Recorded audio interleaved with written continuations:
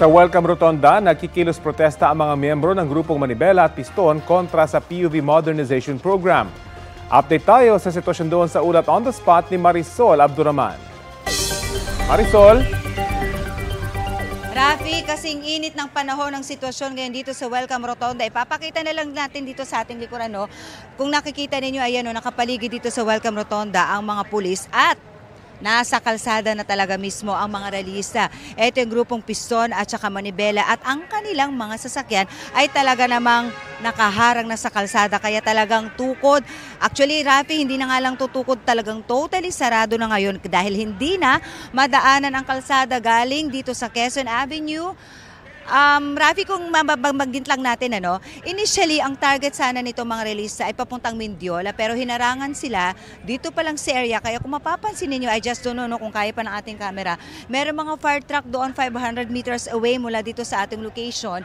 Iniharang yun ng mga fire truck para siguraduhin na hindi makadiretso papuntang Mindiola itong mga relista na yun nga sana ang target nila. Kaya ang nangyari, dito na lang sila sa Welcome Rotonda nagsagawa ng kanilang kilos protesta. Pero ang problema problema, Rafi, eto naman talagang nasarhan na to. So ipakita lamang natin, Rafi, no?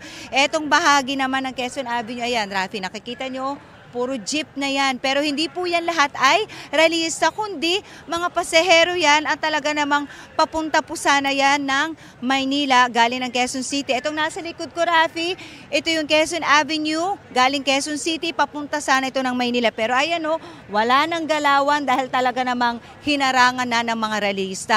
Kanina pa sila pinapakiusapan ng mga pulis na kung pwede sana buksan lamang nila kahit two lanes lang para kahit papano sana, eh makadiretso pa rin pong ating ating mga uh, kababayan na talaga namang obviously na perwisyo na talaga merong ilan na nag uh, na, na late na sa kanilang mga trabaho dahil talagang hindi lamang minuto kundi oras ang binibilang dito ng kanilang pagkaantala. Kaya naman kanina sa mga nakausap natin hindi talaga nila maiwasang mainis bagamat naiintindihan man daw nilang pinaglalaban pero dahil talaga daw nagrabe ang perwisyo nito. So Rafi, aantabayanan natin dahil talagang nagmamatigas ang mga realista na talagang hindi sila papatinag pero itong mga pulis naman sinasabing hindi talaga talaga rin sila papayagan na talaga namang maging ganito ang sitwasyon maghapon, Rafi.